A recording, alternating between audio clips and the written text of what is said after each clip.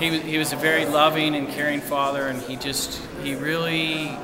He, he, he was caring, but he was tough and fair, and he just wanted us to make sure to instill the right um, values in our lives so that we could carry on without him. Um, but really, he wanted to make sure that we were good people.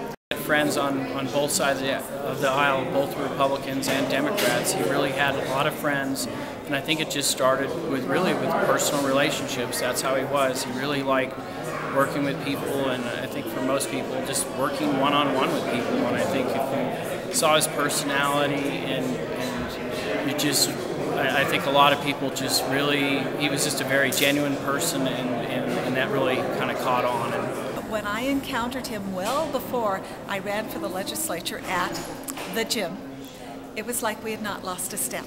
I did learn, however, that if I was going to get a good workout, I had to get there before the governor to get my workout in before he got there. Because you ended up talking politics the whole time? Ab absolutely. absolutely. What, uh, what kind of embodies him the most? Is there a story or something that comes to mind? You know, he was just so passionate about a number of things. So for me, what spoke to me the most is, is his brilliant intellect. But that came with tremendous work. He read everything, and I believe he had a, a photographic memory. But I can tell you for, for sure that he read every piece of legislation as a legislator, as a governor and certainly threatened my health if I did not do likewise.